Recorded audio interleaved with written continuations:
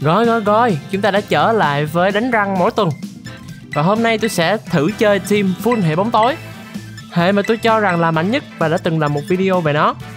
Và điểm sáng hôm nay thì tôi sẽ cố gắng sử dụng Umbreon trong trận này. Bởi vì Umbreon là một trong những Pokemon yêu thích nhất của tôi. Và tôi cũng đã từng xài em nó từ cái hồi bắt đầu chơi game Pokemon trên hệ máy 3DS vào năm 2013 thì phải, không nhớ nữa.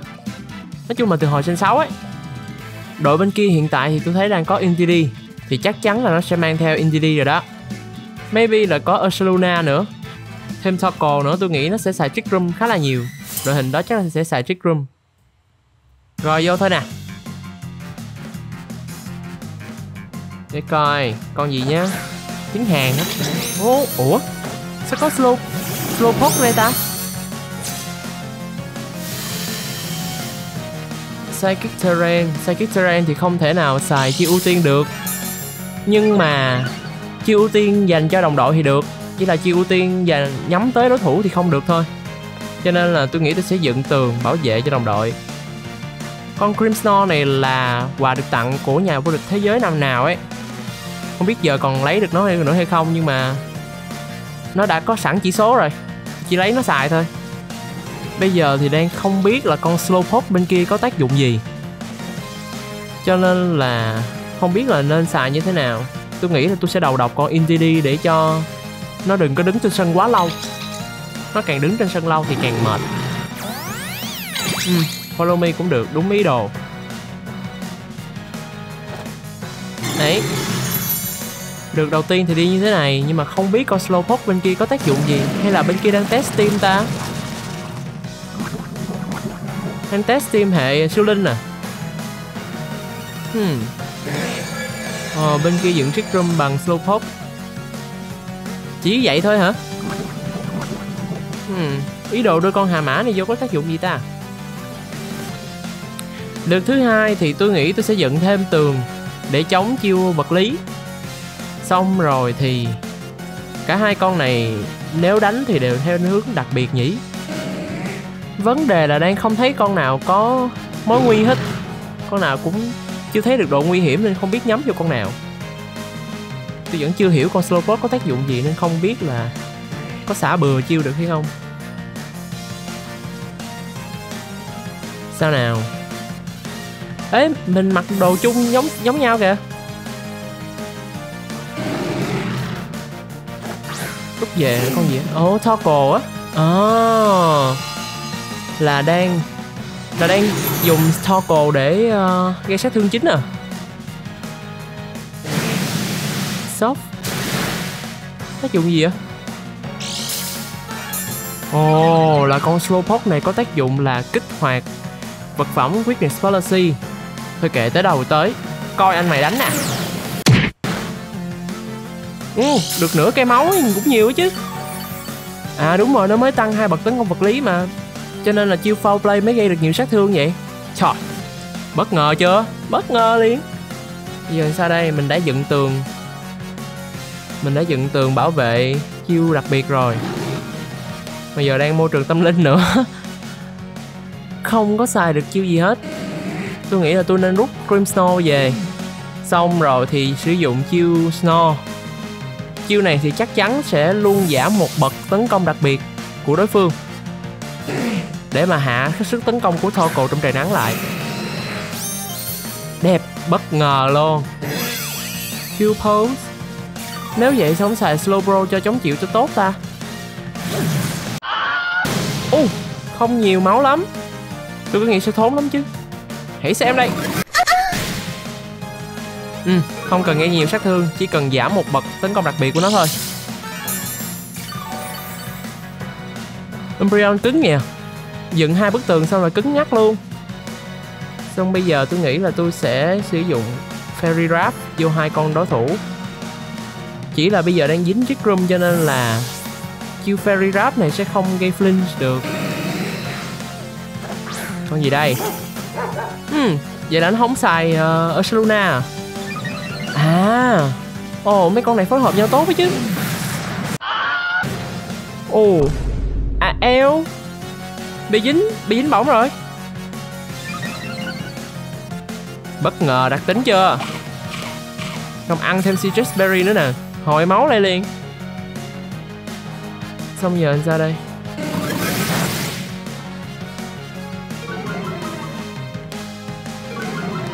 Chiếc Snow này quậy mấy con tấn công đặc biệt khá tốt đấy chứ. Xem sức mạnh đây. Ồ, oh, cũng được khá khá máu. Nhưng mà con chó nó tăng lên hai bậc Thủ vật lý rồi. Nhiều khi nó xài body press đó chứ. Eo. Eo. Combrion của tôi. Không sao mày chịu được mà, tao tin mày. Uhm. Khó nghĩ quá nhở? Giờ sao đây ta? Mình còn một lượt trick room, trick room còn một lượt. Hết cái lượt trick room này là tụi bay đi bán muối liền cho tao. Hmm. Tôi có nên uh, Protect lực này không ta? Tôi có nên bảo vệ lực này không? Ừ Nên bảo vệ lực này đi. Xong rồi thì Wish. Ô nó xuống sát luôn à? Hay gì á? À Choco hệ lửa. Chính xác luôn. Nó chơi tới cùng rồi Không sao. Chỉ cần hết chiếc room lực này thôi là tụi bay. Thấy bà tụi bay liền. Uh-huh.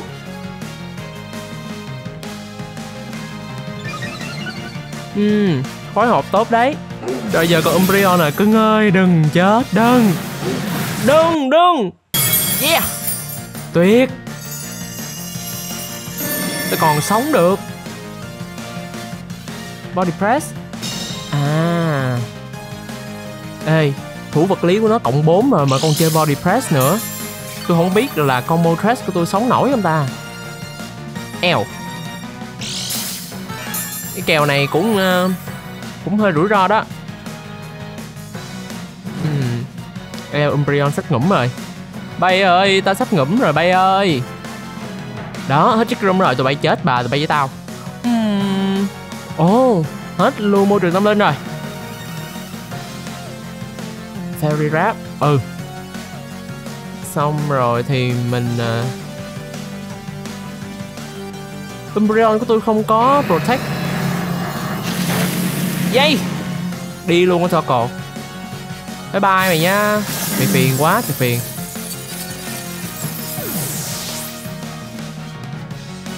Nhưng mà con nó Protect, ơi sống giùm. Yeah! Đỉnh. Protect. À, Ủa? À bên kia bên kia thoát rồi. Yeah, Chúng ta đã thắng được này. Tuyệt vời. Tuyệt cả là bời. Thế là trận đầu tiên đã thành công, tốt đẹp. Nói chung là Umbreon ờ, vẫn còn sống và vẫn còn đứng vững. Trong lượt này. Trời, sao nhiều thủ tục quá vậy trời. Người ta đã bỏ cuộc rồi mà cũng không tha nữa. Trời nó phải làm cho hết lượt mới chịu. Xong chưa? Xong rồi. Rồi qua trận thứ hai thôi. Trận thứ hai thì đối thủ đang có NPD Amarous Chắc chắn là hai con nó sẽ đi chung với nhau rồi nè. Ờ, uh, Tatsugiri Tôi sợ Tatsugiri sẽ đi chung với lại Don Tozo quá nhỉ? Hmm. Chắc chắn là phải có hai con chống chịu là Crimson với lại Umbreon xong, trong chiến thuật của đội hình này thì tôi sẽ mang hai con vừa hỗ trợ vừa chống chịu. Xong rồi hai con cuối cùng nữa là sẽ hai con dứt điểm. Mà hai con dứt điểm đó phải là tôi nghĩ là trong Trick Room thì King Gambit sẽ tốt nhất. Ừ. còn một con nữa, khả năng dứt điểm tốt là con nào ta? Chimpao Ok, Chimpao sẽ giúp cho khả năng tấn công của King Gambit trở nên mạnh hơn. Ok, hy vọng là lựa chọn đúng.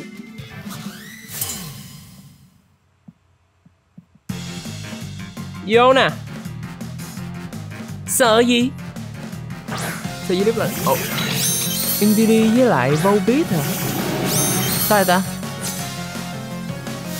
Lựa chọn lạ đó Hôm nay toàn gặp đối thủ lựa chọn lạ không á Như thường lệ thôi dựng tường bảo vệ liền hai con này đều chơi hướng đặc biệt hết. Hmm.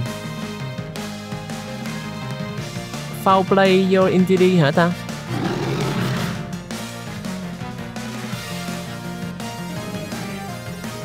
Khó nghĩ quá.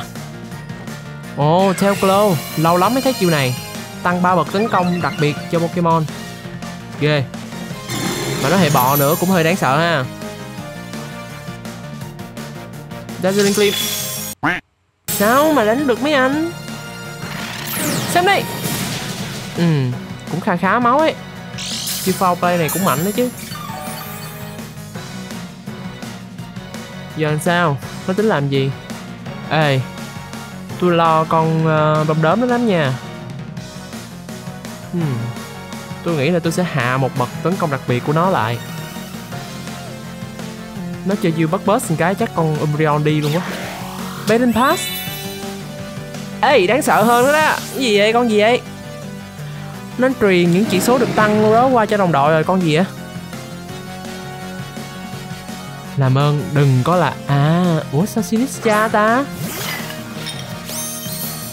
Ủa, Tôi tưởng nó phải là Amarus Thì tôi còn hợp lý.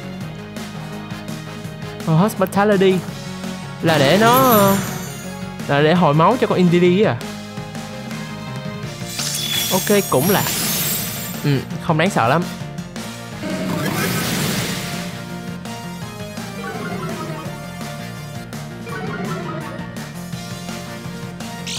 Con này có Amarus không vậy chắc sẽ có nhưng mà tại sao nó lại truyền chỉ số được tăng cho con Sinistra chi trời? Nó muốn giữ cái Indy lại tới cùng vậy hả? Giờ thì Grimsnor hết tác dụng rồi. Đứng đây nữa cũng không làm được gì. Ghét môi trường tâm linh kinh khủng. À... khoan khoan khoan khoan. Tôi tính cho King biết ra nhưng mà thôi. Tôi cần phải phá môi trường tâm linh này bằng chiêu Ice Spinner của Chin Pao xong đó thì tiếp tục hạ một bậc tấn công đặc biệt của hai đứa này. Để sát thương tụi nó gây ra không quá lớn.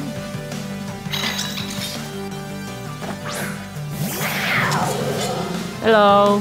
Bất ngờ liền. Ao Cũng không quá đau nhỉ Xem đây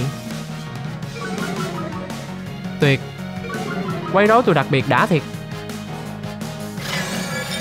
Rồi, chiếc room bả rồi. Ôi, cái căn phòng phẫu thuật này. Hiện giờ là Chimbao sẽ di chuyển chậm nhất. Nhưng mà tôi nghĩ là chắc chim bao chịu được nhở? chịu được hai đứa đó không ta? Hay mình phải Terra ta? Tôi đang khá sợ con Sinistra sẽ có chiêu gì đó mà tôi không biết.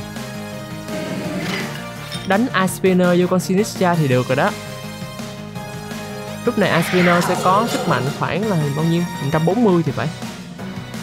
Nhưng mà tôi nghĩ là tôi sẽ Terra cho Chimpao rồi chúng ta xoay tròn băng giá vô con Sinicha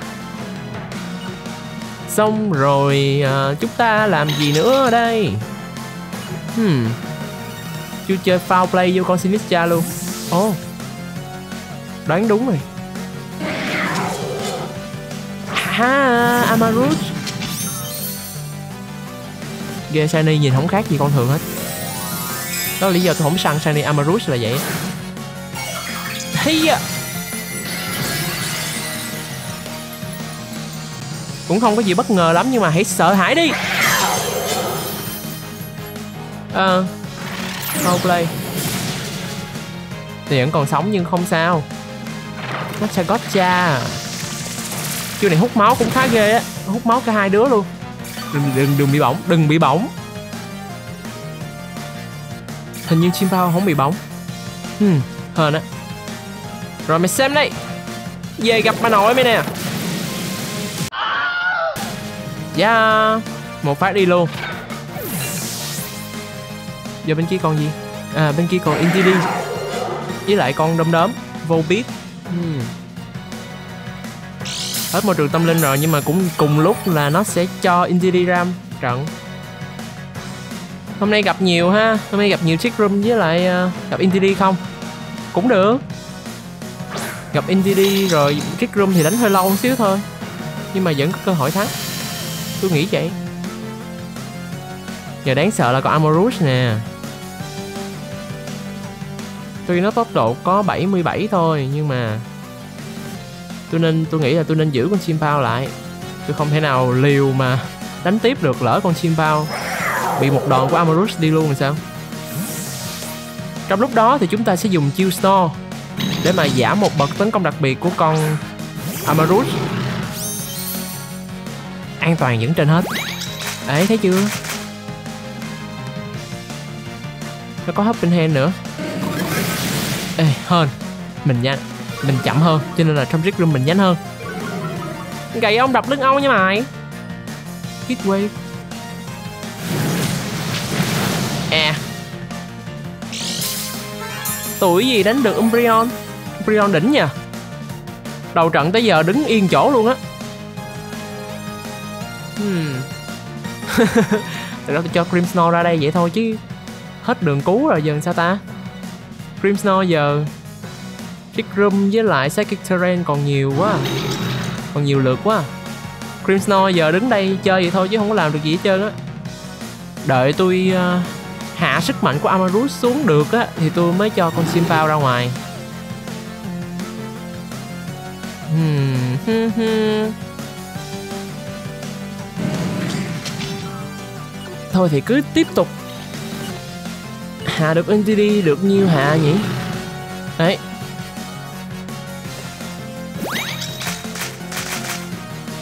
Trời ơi con quỷ nó phiền thế. Xin lỗi xin lỗi. Hết cách rồi. À, Được rồi ông ăn chả thì bà ăn cây cà lem. Có qua có lại thì mới là bạn nhau chứ. Hmm. Amarus giờ bị hạ hai bậc tấn công đặc biệt rồi. Tôi nghĩ nó cũng không còn quá đáng sợ rồi chắc là tôi sẽ tự tin uh, cho Chimbao ra ngoài quá. Chứ King Gambit ra ngoài không được rồi đó. King Gambit mà gặp chiêu hệ lửa của Amarus thì cũng khoai.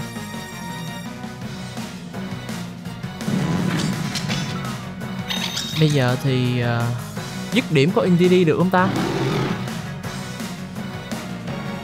Hay là ừ tôi hồi máu cho con uh, Umbreon cái đã.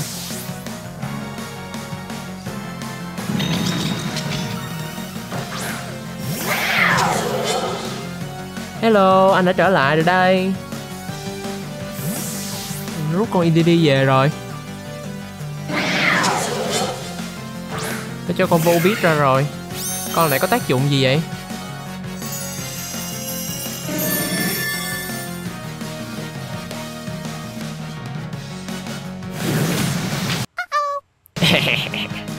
Umbreon chịu đòn quá đỉnh.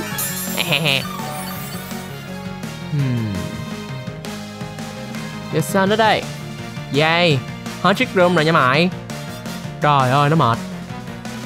Hết trick room rồi thì chúng ta sẽ sợ dùng tốc độ đánh nó được. Đã không dùng tốc độ mà không dùng chiêu ưu tiên được nữa. Đúng là một cực hình mà. Bây giờ sao ta? Tôi sẽ foul play vô con Amaru. Ủa, nó rút rồi hả? Chế kỳ máy Chế hàng nha. Injury ra ngoài Why, tại sao? Nó không để dành Injury tới cuối cùng à? À nó theo Glow. Là nó truyền lại cho Amarus. Thôi mà kệ bà đi Giờ mày coi nè. Dính biệt tỷ tỷ Mày phiền quá rồi đó. Giờ mày có truyền bao nhiêu? À nó hết nó hết đường để truyền rồi. Nó hết Pokemon rồi. Yeah. Được, Chúng ta có đường thắng cho dù mày có chơi Trick room gì nữa thì chúng ta cũng thắng. Không? Umbreon vẫn đứng vững. Quá đỉnh.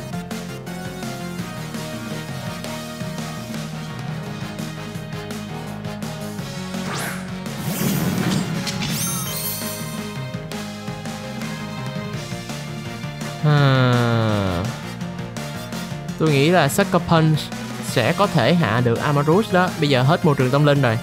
Xài chiêu tiên được rồi. Môi trường tâm linh mạnh quá nhờ. Không bù lại cho môi trường sương mù chút xíu trời, Môi trường sương mù không có tác dụng gì nhiều hết trơn. Yes! Đại ca cưng biến mất rồi đó. Bây giờ em sẽ làm gì hả đom đóm? Em sẽ chọn gì đây? Mình vẫn còn bốn con nhờ. Hệ bóng tối mạnh quá. Ý là Pokemon của hệ bóng tối mạnh chứ. Không, hệ bóng tối cũng mạnh.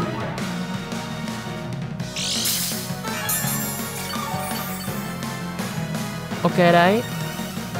Tại sao con nó cứ hỗ trợ hoài? Chưa thấy nó tấn công nha, Mặc dù nó hệ bọ Nó theo Clo nó cộng 3 điểm tấn công đặc biệt rồi. Nếu tấn công thì mình sẽ, Ít ra mình cũng sẽ mất một con chứ. Út. Bỏ cuộc coi Ok, thế là đã xong trận 2 và chúng ta sẽ qua đến trận 3 Tôi nghĩ hai trận đầu chắc người ta đang test team á. Chứ hên chứ sao mà. Rồi rồi rồi rồi mới nói xong đó. Mới nói xong cái vô trúng cái team chuẩn VCC rồi. Hmm.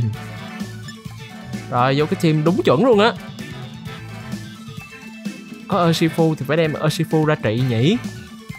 Xong rồi vừa có Urshifu mà vừa có Among Us. Xong có Incineroar nữa mới lỡ miệng gáy xíu thôi mà sao cho cho chim gì ghê vậy? Sao không thấy ngày mai luôn vậy ta? Thôi tôi nghĩ là tôi sẽ uh, dùng Moltres thay vì cho chim bao. Thôi kệ đi. Vì sao tôi cũng không có uh, cảm cảm tính à, tốt lắm với cái sim này.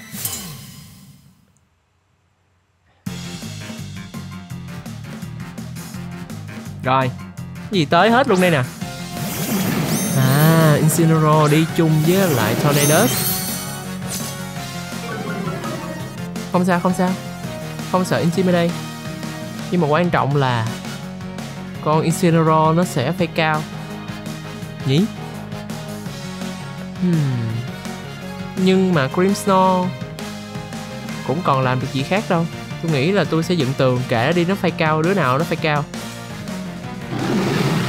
giờ nó đã biết con Umbreon có inner focus rồi thì nó cũng sẽ không nhắm vô con Umbreon mà phải cao đâu. Ủa? Nó có phải cao á. Ủa? À con Incineroar không có phay cao à? Sao hơn vậy? Fighting shot. Tại sao? Tại sao nó lại hạ một bậc của con Crimson làm gì? Là nó coi thường con Umbreon à. Nó nghĩ con Umbreon không có đủ sức tấn công để mà hạ được tụi nó à. Mày coi thường Umbreon quá rồi con. À.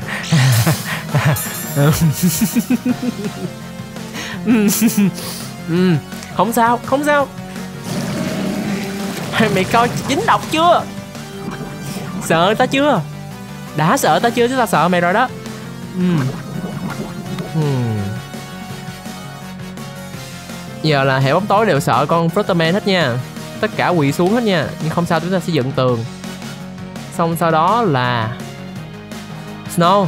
Đúng rồi, để giảm sát thương của Thon Rồi, bạn có thêm một bài học giống mình rồi đó. Lấy sổ ghi vô nha. Hệ bóng tối miễn nhiễm với những chiêu nào được cộng bằng Prankster nha. Ok, bạn có được một bài học rồi đó. Giống mình ngày nào hai con này đều theo hướng đặc biệt hết, Cho nên là chiêu Snow này coi như là thống trị tụi nó rồi. Umbreon quá đỉnh.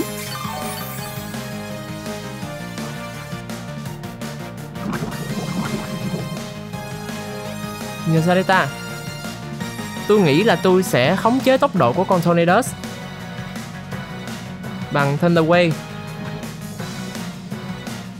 Đó mới nói tại sao là theo bóng tối mạnh ấy. Nó có thể kháng được những chiêu của Frankster Những chiêu cộng ưu tiên của Frankster.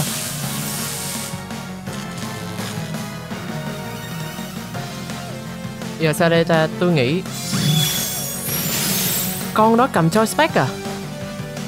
Ủa nó, nếu nó cầm choice Pack thì sát thương gây ra cũng không đáng kể. Ok còn sống. Dựng tường là còn sống liền. Ok nó vẫn còn đứng vững nha.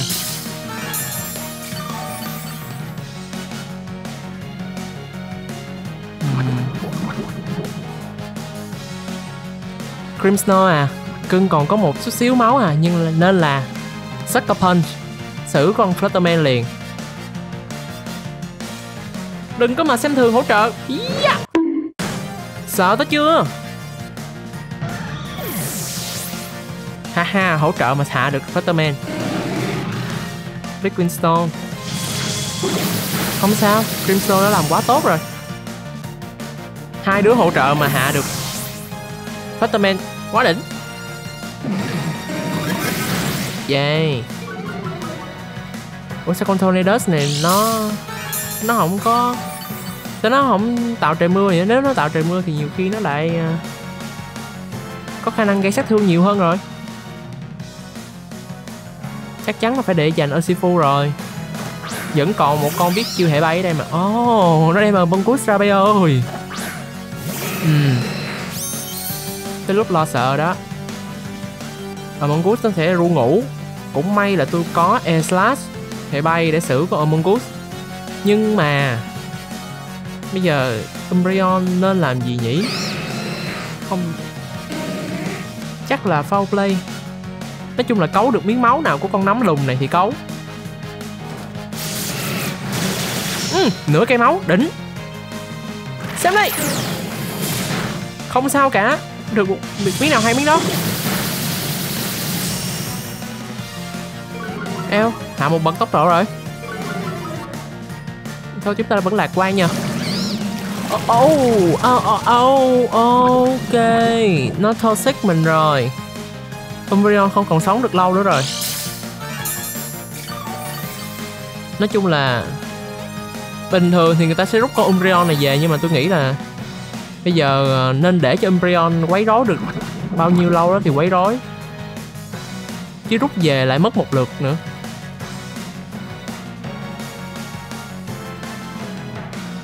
Hmm. Urshifu hả? Không không không không không rút về.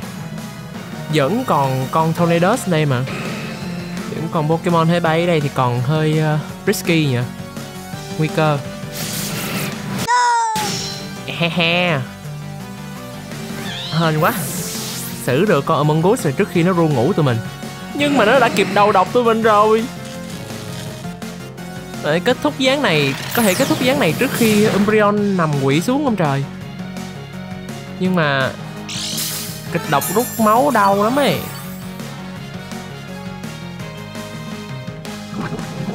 Rồi, em càng gần cửa tử hơn rồi giờ sao đây, con gì? À con incineroar. Còn lại hai con chứ nhiều. Hên quá, mình không có xài con nào. Đánh vật lý hết.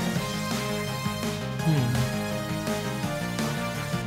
Giờ sao ghét con Incineroar quá? Xử nó mới được. À. Fairy Rap đi. Chắc giờ mình nhanh hơn hai con này. Moltres giờ đang nhanh hơn hai con này. Chứ gì nữa. Chắc sẽ gây flinch được. Có flinch không? À nó không flinch. Không sao. Bố mày sợ. Uhm. He nó bị flinch rồi. Vĩnh biệt. Vĩnh biệt thần gió nha Mới hôm nào còn là đồng đội của nhau. Nay tiễn nhau đi mất rồi. Đời vô thường quá.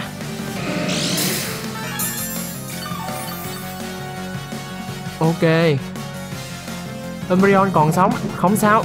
Chúng ta sẽ Ta sẽ chống cự được cho đến khi hạ được con Incineroar này. Chắc hoặc là không. À, à, Không sao cả. Foul play. Gì ở đây? Uh. ok. Ok cho ra hệ lửa nó muốn xử combo trash tới cùng luôn á. Ha flinch yeah. Đỉnh. U. Đau, tuyệt. Umbreon, đỉnh thiệt. Chắc đây là lần đầu tiên nằm xuống Trong 3 trận như rồi. Umbreon nằm xuống được rồi đó, cưng. Cưng nằm xuống đi đủ rồi đó. Ta đã để lại một di sản cho đời sau.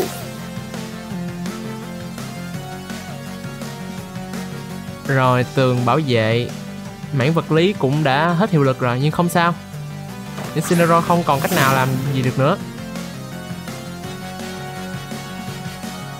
Air Slash một lần nữa để coi nó có bị flinch không. Rồi, Sucker Punch. Ủa? Yay! Kia bỏ cuộc rồi.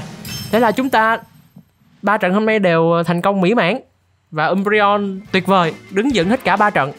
Cảm ơn các bạn đã theo dõi series này. Hẹn gặp lại các bạn trong những tập đánh răng mỗi tuần tiếp theo. Bye bye!